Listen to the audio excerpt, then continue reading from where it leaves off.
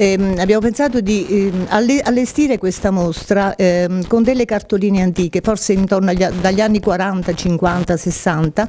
che rappresentano appunto come veniva vissuto, come veniva eh, regalato il Natale negli anni passati. Uno spaccato diverso, uno, un, uno spaccato che si serviva della scrittura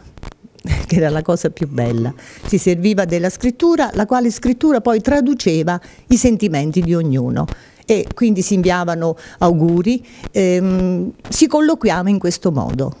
E oggi non, c'è più perché ci sono le sms, sono, eh, c'è questa tecnologia, questi media che hanno invaso un poco eh, quella che è la nostra vita e che molte volte ci hanno privato anche